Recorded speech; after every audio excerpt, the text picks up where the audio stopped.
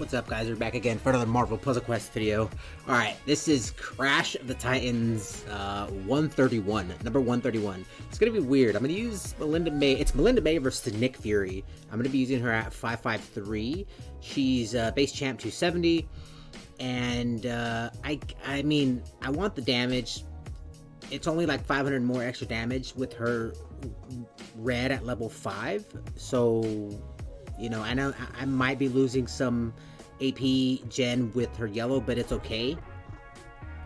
Because I'm not touching her stun. It's just going to be there. If I generate blue, I stun. More than likely, I'm going to win. But uh, it's weird because I'm going to be using match damage boost for yellow and red. And I mean, I know I should be using it for blue, but I'm not going to. I'm going to be using AP boost for blue and uh, rainbow colored AP boost. Alright, let's get into this. So 553 best build, you're going to just basically want to use red. Uh, deal damage if you hit all the same tiles, which you can. You can just select them. And uh, let's see, he is at 13k. She's a 14956. And her yellow is, I don't know why I click it, like I think something's going to happen. Uh, stay in one piece. Whenever an ally takes at least 15% of their total health in damage, the ally is granted a burst of 977 health, which is not true heal. You don't keep the health after the match ends. Uh, true heal is the best heal in the game, by the way. If she had that, that'd be pretty cool for 4-star land. Um, once per turn, if an ally would deal at least 12% of the enemy's total health in damage, that ally gains 2 AP in their strongest color, which I'm assuming is red. Oh, okay, they're perfect. Um, so just match, I guess, try to cause cascades if I can and do like match, like cause crits, match fives and stuff. Or try to match as much blue to stun, which I'm probably to do right here, assuming I'm to be able to do that. If he doesn't match anything from right here, which, never mind. oh man, I need red. Oh no. Can I can I match red right here? No. Oh my god, give me a red match. Right here. Don't don't match this. No. Okay. Let's do this. I, I was gonna be able Oh my god. I could have stunned them. Or I could have could have done that earlier. Okay, he's stunned. And then with her stun, basically, stun for three turns. And whenever an enemy returns from stun, create a five turn countdown tile, targeting that character. While it's on the board, that character's match damage, or matches and powers deal 1566 less damage, which that's basically GG's. And four star, we'll try to set up a match five Let's see. We'll do that. He's going to return from being stunned. We're going to stun him again. So, and it doesn't stack. The stun, like the negating doesn't stack, which kind of, it's not good. It, they should let it stack. If it, if it does, that would be amazing.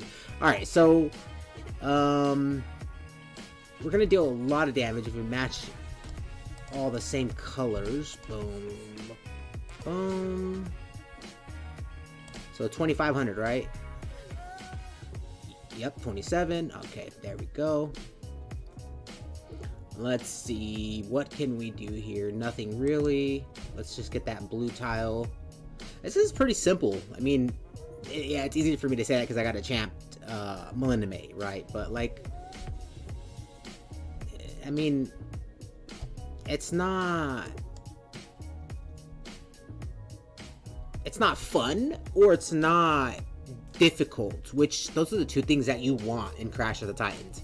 One of the most difficult like this basically tells you where you're at in your account. If you can beat 90% of the crash of the titans you're good. If you can't then you got a lot of work to do. And i know that's not that, like that's stupid of me to say but it is what it is. And, and it's true basically right Alright, he's gonna be dealing no damage to me, right? Like zero, one, like one? Yeah, one, okay. Blue, we're gonna stun again. He got nine yellow. You know what? I'm gonna let him match that yellow up here. No? Okay, he's gonna take that. He's gonna hit me with his yellow cost 10. Okay, so we'll just do this. There's no way he's gonna kill me at all. He's gonna stun me though, I think, right? Yep, stun me. Please don't tell me it's for more than two turns. Yep, okay. I might have just ate my own words. And he stole AP from me? Yo, I messed up. Did I? No. I thought I did. Okay, stun. Obviously, I couldn't stun when I was stunned, but GG's. Alright, so I think this is... This is... GG? Green? Red? Okay, red. Sure shot. Okay, now let's try to cause a cascade. Two, three, four... We're not going to be dealing that 25. We're going to be dealing 18, but we did cause a cascade, dealing a lot more damage. We're going to be doing it again. Oh, I wonder. Two, one, two, three. Oh no, one, two. No. Oh wait, dude. Cascade. Right here. Perfect. Perfect setup. Okay. That's it right there. Boom. He. What? What? I'm leaving that. I'm. I'm. Uh, okay. Uh, on to the next. All right, we're literally back, like right back in it. I'm using this support just because, it, it, it, like, when the supported character makes a red match, there's a 33.57% chance to gain two extra red AP. That's basically like a cheat code, right? I wonder what I I'm gonna try to get it to rank five. Don't know if I'm gonna be able to, but uh, we're gonna not let him hit us for any damage. We're gonna do that. We generate red, and I'm just do I'm using all match damage boost. I even used 100 hero points to straight up just get as much match damage as possible. And red is still our strongest color. Yeah, wait. Uh, yes, red is still our strongest color. We're gonna stun. We're just gonna match him away. Okay. Blue. And we need... Bump, bump, bump, blue. We need as much blue as possible. We're just gonna match him away. That was the craziest thing. I didn't, like, I didn't pay attention to when he used Demolition. Like, that's ridiculous. Nick Fury is just a beast, dude. Alright, so we're gonna get all these tiles out of the way. We're not really dealing that much match damage, obviously, because we're not matching the tiles that are strongest. Okay, so we do that. Okay, so the support did something else. Uh, when the supported character makes a purple match, there's a 38.37% chance to gain two purple. Oh yeah, this is busted. At the start of the turn, uh, there's a 41.97% chance to create a one-turn countdown tile that heals Deadpool. Okay, this is for Deadpool. Oh yeah. okay, so we'll do that. Get red. The board is not like it's just, it's just not in our favor. Demolition literally just destroyed us. That was hilarious because I was at a loss for words. I just didn't know what to say. I was just like, what? Hello? Bonus red? Yes. Oh my god, the clutch. One, two, three,